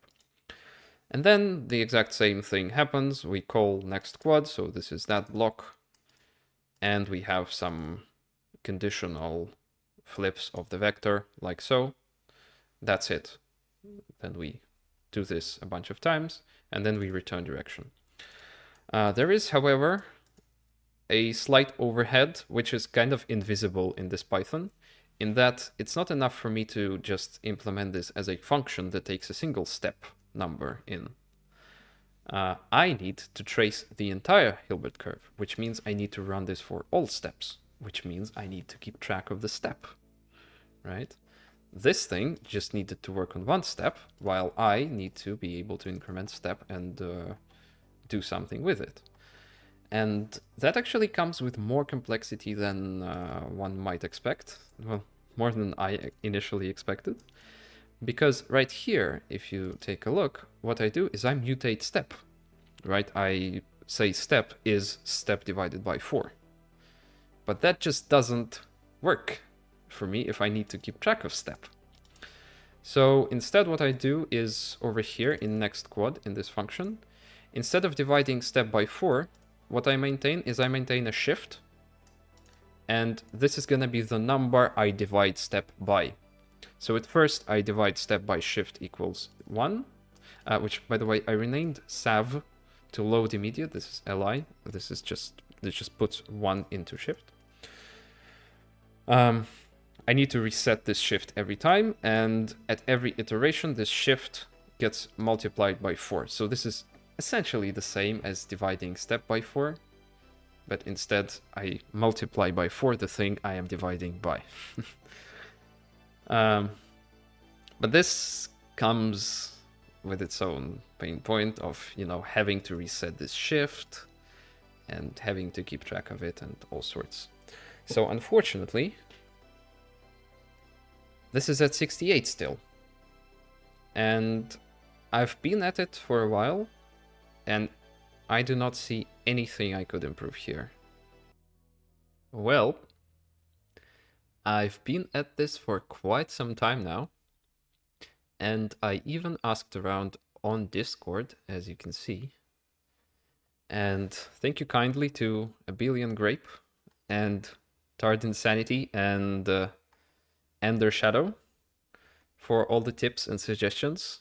Uh, they have been helpful, but I'm afraid none have been helpful enough to get me under 64 bytes.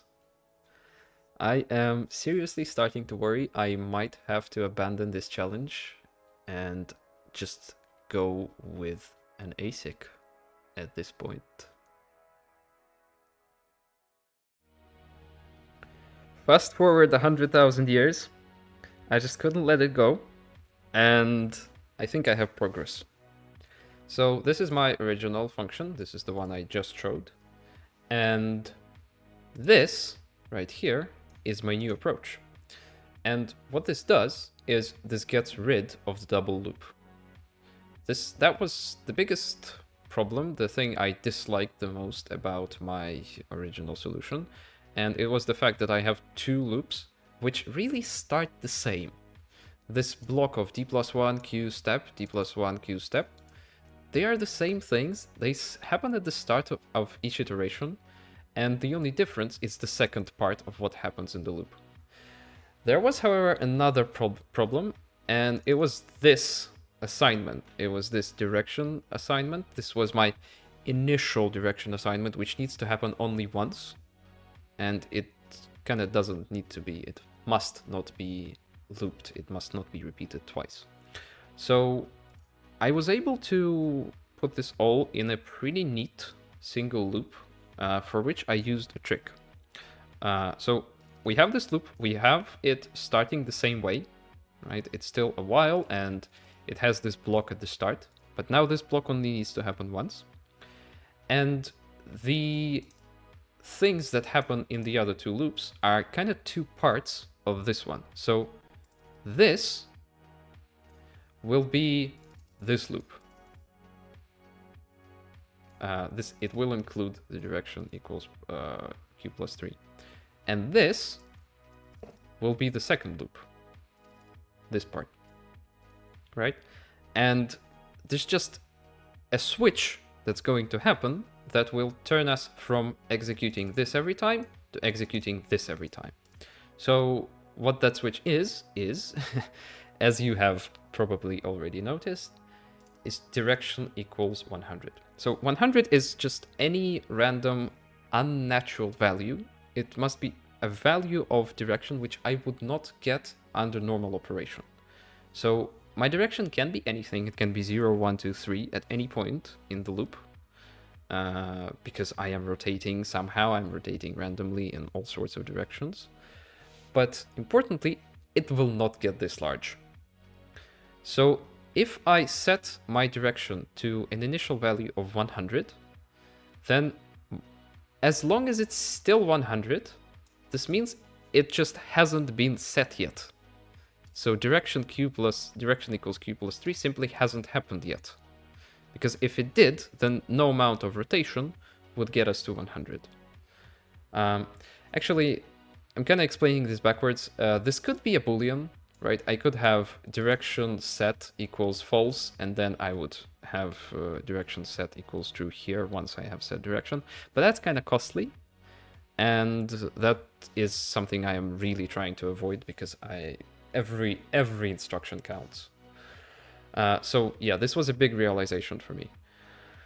Uh, so obviously, once direction is not equal to 100, we're gonna be doing this every time, which is exactly this second while loop. But while direction is still initial direction, what we're going to be doing is we're going to be checking our q equals 3, so it's the same thing as this.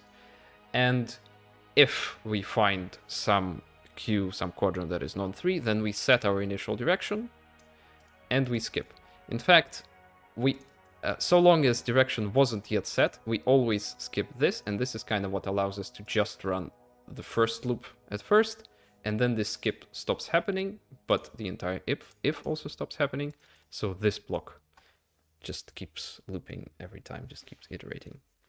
So hopefully, hopefully, this will allow me to save just enough bytes to get me under the line to allow me to pass the bar. This does have, of course, this does have uh, an overhead. You know, I need an initial direction set, which is an instruction. And I also need these ifs here. I need this continue, which is kind of new to me. Uh, but yeah, hopefully I should be able to compile this to something smaller. Let's see. Check this out. 60 bytes. I was able to compile this program into assembly and it's a mere 15 instructions, 60 bytes. I'm not yet sure if this actually works because I want to capture the Steam achievement on camera. So it'll be embarrassing if it doesn't. But this seems to be working on the first few steps. I've had to make a couple changes. Um, why is it 101, 100? I've had to make a couple of changes to assembly to actually get it under 64 so compared to this. So let me go over this real quick. Um, it starts the same. We have uh, initial direction as 100. It doesn't really matter. One, 101 would have done just as well. Uh, and we still have our Hilbert loop, which is the big loop that goes over each step of the Hilbert curve. Uh, I still need to reset my shift every time, but now the new thing, this is a new piece of overhead. Uh, this is direction equals 100. I load my initial direction as direction every time I need to recalculate it. And now starts the big loop. So it's a single loop now, which is great. And yet another cool thing about it is now that it's a single loop, I do not actually need to make sure that it is a while because the first iteration is safe. So you may notice that I do not have this unconditional jump to loop end right here, which saves me an instruction, right? So I, I can't just fall into it and this is a repeat until. Uh, however, that does come at a cost. Uh, still, uh, you may notice that this block, which corresponds to my, uh, you know, getting the next quadrant, is missing a thing. It's missing the shift increment. And I've had to move shift increment to the end. And this is because I still kind of need while-like properties of this, uh, which I'm going to go into uh, slightly later. So yeah, the the shift increment happens at the end of the loop as opposed to at the start of the loop, but that doesn't really influence anything too much. So next we come to our if construction, if chain. This is that. Uh, it's pretty much exactly the same, but this is the place where the shift at the end and this label comes into play. Uh, when I do a continue, it is assumed that once I continue, the while condition, the while, uh, goodness, what's it called?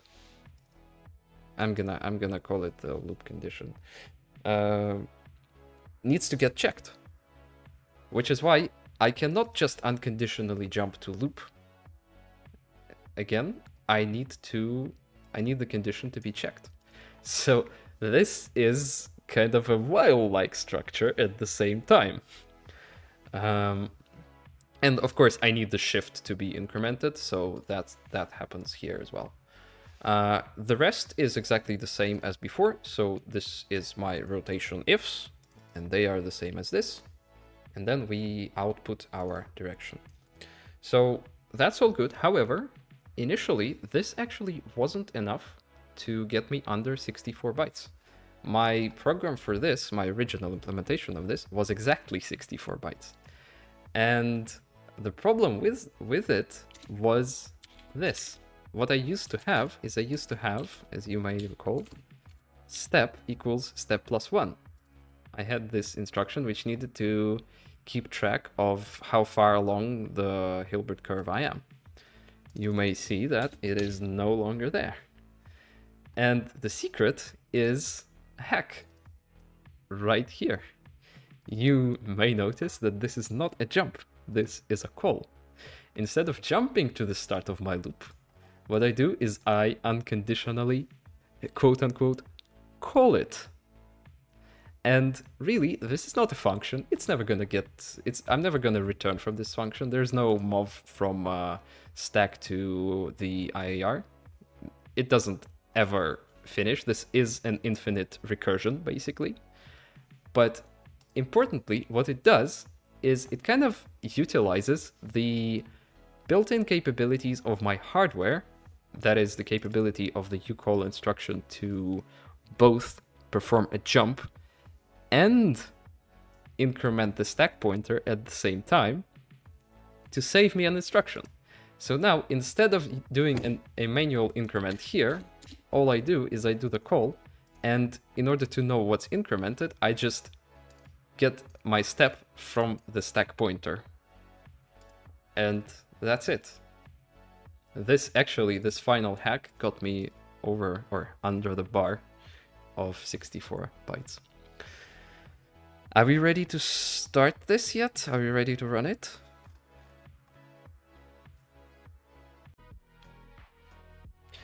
Okay, wish me luck. I really hope the Steam achievement goes through and really hope it gets captured and really hope this recording doesn't get corrupted or anything. I hope I am recording. uh, but we are under 60 bytes and so far it's looking good. I'm mostly worried about this transition over here as we're exiting the second large quadrant and entering the third large quadrant by this point, we will have encountered pretty much all. Yes, all combinations. So, yeah. At this point, I'm pretty confident. And... Come on, Steam, what are you doing? I don't think I don't think I got the achievement at all. Why? That looks broken. I'm definitely at under 64 bytes. I am certainly at under 64 bytes. Let me go check. Yep. Nope. I think the achievement is bugged. Complete the robot race with less than 64 bytes of code. I definitely have less than 64 bytes of code. I have 60 bytes of code. And I did complete it, but it just won't work. Guess let's run it at 10 kilohertz. Still nothing. Well, that's a letdown. I mean, it's not that it really matters. I know that I completed it. But kind of anticlimactic, I guess. Oh well. I should file a bug report and I am also ready to proceed to implementing this as an ASIC. There. This video is already more than long enough, so I decided not to bore you with the details of actually working through this. This actually turned out to be fairly simple, and uh, by the way, what you're seeing is a naive approach. It's a pretty direct implementation of the assembly, and I think I should be able to optimize this further in the future if I ever decide to. Uh, but I haven't actually tested this either, so we'll see. I am afraid this might give me the Steam achievement and I want to capture that. Uh, but let me just uh, walk you through this real quick. It's actually fairly simple. So let's start at the, well, at the start, at the beginning of the circuit. We have no inputs at all, so level input is just hanging there. Uh, instead, what we have as our input is just a counter. So this is kind of our step counter. And every tick, we're going to proceed to the next step and we will have our output immediately. So this is a specialized counter. I was actually able to reuse a circuit, uh, a reduced counter circuit, which I used for Hanoi.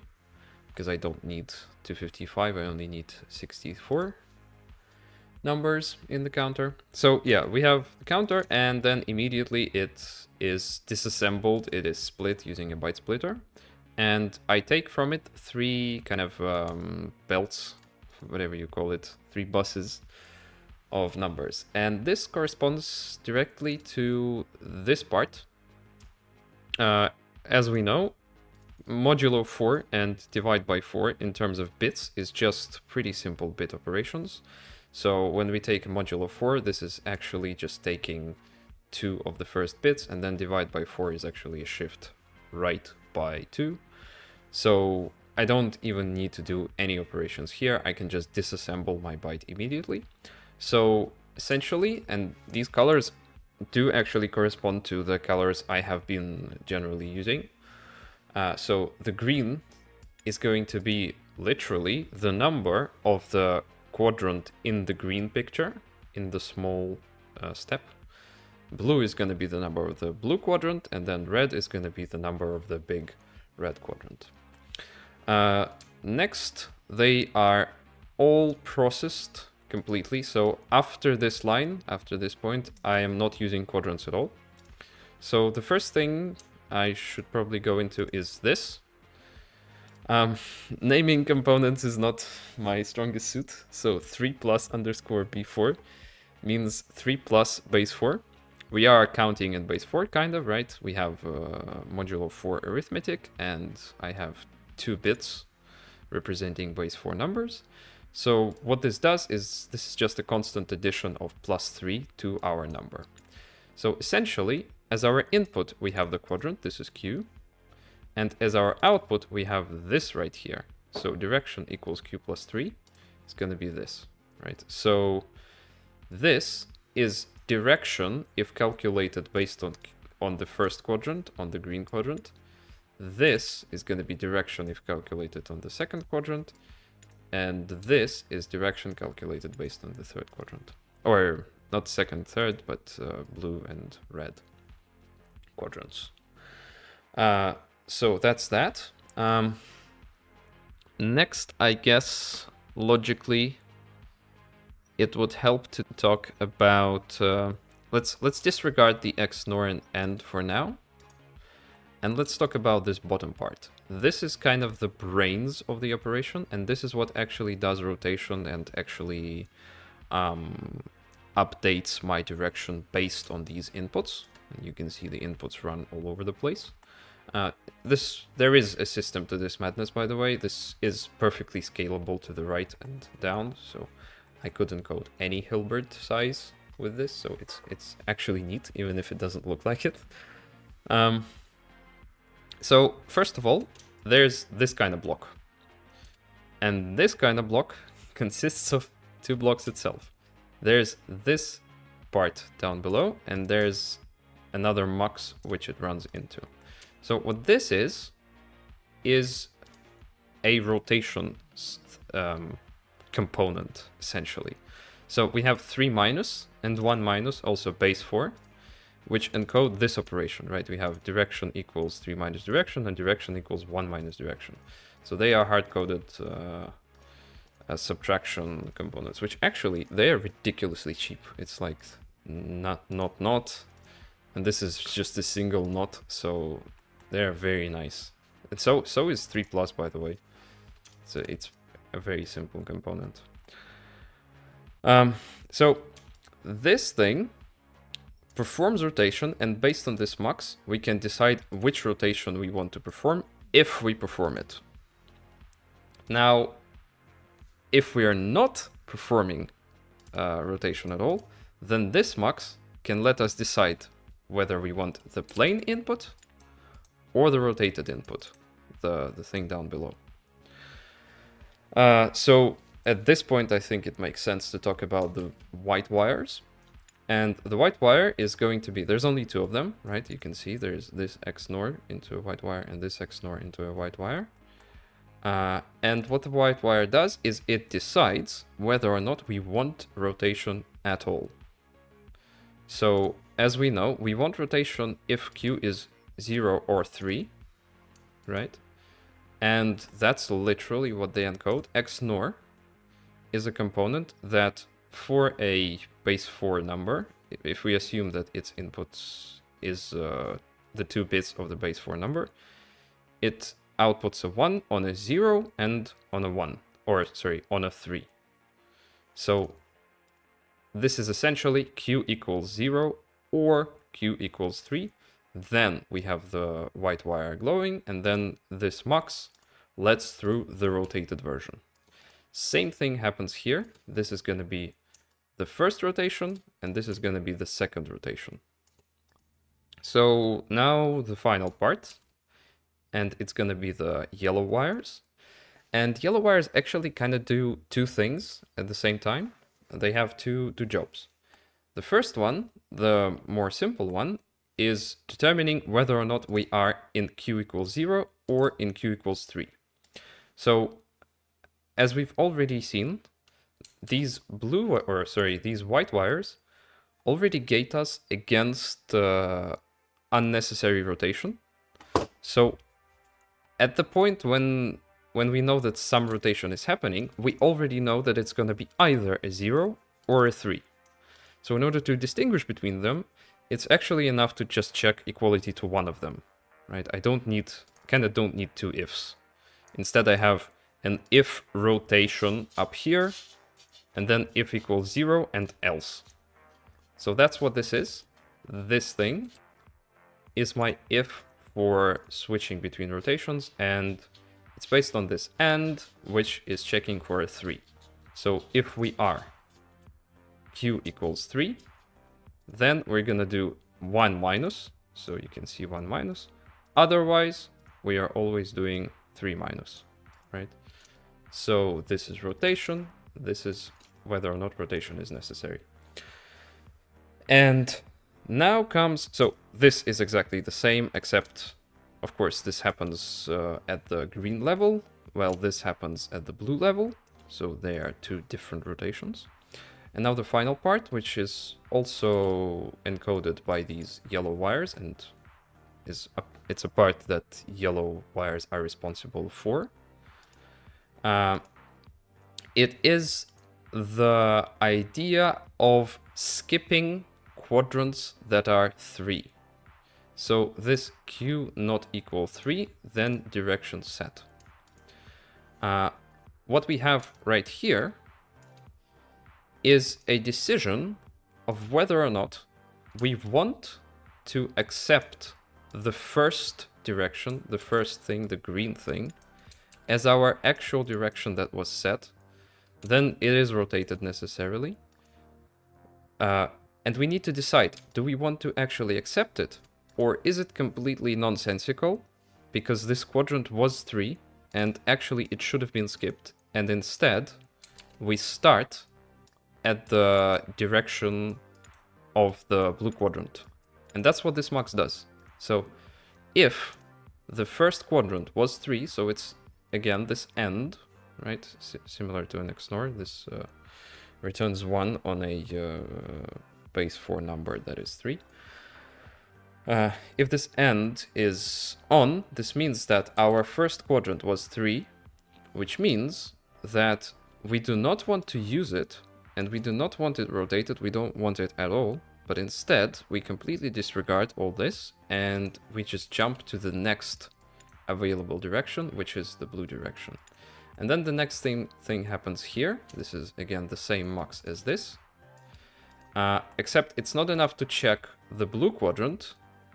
We actually need to check that both quadrants, both previous quadrants were 3, right? We need to maintain this kind of state, which is why this end is here. And uh, if I were to go down, just for this problem size, it just happens that I only need one end. But if, if we were to go down further, we could have something else here. Well, if, if the Hilbert curve was larger. Um, we would add one this way, right? And then it would grow downward like so, right? And then another one, you know, and so on and so forth. But it just happens to be, to not be necessary. And yeah, that's it. Uh, this is all automatically mod 4, so we just combine our mod 4 number with a, with a byte maker and output it directly. Why is it mid-run? Is it a 3? Oh, no, it's not. Okay, um, like I said, I haven't actually run this yet. So let's see if it works. And also, let's hope I get the Steam achievement now. I kind of still want it. Even though I achieved it, I I know I get I got it. Technically, I I didn't get the pop-up. Let's go. Ooh, that was snappy. Yes! Robot race with less than 64 bytes of code. Ah, cool. Captured. Captured on camera. Uh, I've actually had uh, a discussion in Discord. I think this uh, this achievement is worded weirdly. Or not even just worded, graded weirdly. Like, he here it is. Complete the robot race with less than 64 bytes of code. 64 bytes of code. This right here, 64 bytes of code, really strongly, at least to me, suggests using code. Using a program component in a Turing complete machine and writing assembly that is below 64 bytes. And besides, that was the original statement of the problem, right? This was in the original level description. Level log, right here. Among the robots that complete the course, the winner is the one who had the smallest program. But of course, there's no program component here. A program does not apply to an ASIC. So that is in fact why, and this is kind of an instance of a more general thing where I think ASICs are cheating. That is in fact why I put so much effort into trying to actually complete this uh, achievement properly by writing actual assembly for an actual Turing complete architecture. Now I understand, and in fact I already made one, um, no not here, I understand that we can cheat completely for the Hilbert problem, for the Hilbert curve. We can just write a quote-unquote program which looks like this right? I can hardcode all of my moves. It just happens to be 63 moves exactly. I need moves 0 through 62. And I hardcode them into my program. I create a binary file, cheat.bin, and this works.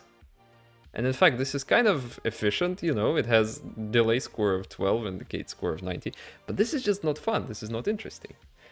And if this is really the intended solution for the achievement as it is worded and as it is graded, then man, I I don't know, that's just not that doesn't seem interesting. Or did the developers actually intend for the insane amount of hacks and the insane amount of work I've put into my solution? Is this, uh, wherever that is, is this actually intended with the U call and with the shifts and with everything? With this initial direction and XY coordinates and vector rotations? Is this the intended solution? Honestly, I'm having a hard time believing that. This seems too complex for a Steam achievement, especially considering all the other ones. So yeah, I don't know. I I'm really curious to find out if this was actually intended or if something like this was intended. I mean, one other way I've been told is by, of course, I can modify leg to be more powerful. Uh, the most efficient thing I can see would be variable length instructions, where I wouldn't need stuff like this, which would save me a lot of bytes immediately, and then the absolutely regular uh, recursive solution would work. You know, we could save one, two, three, four, five, six, seven bytes. Uh, I don't know if I counted it right, but yeah, we could save a bunch just by having variable length instructions. But this means modifying leg. And I would say that variable length instructions would be a modification beyond the quote unquote vanilla leg, the one that we've been taught. Like, okay, then I might as well solve it on the RISC-V implementation in Turing Complete in one byte or whatever. I don't know. Just seems weird to me. Anyway, I'm through. I have completed everything. My score is great. My achievement is fully deserved so far as I'm concerned. I did it in less than 60 bytes of actual real code.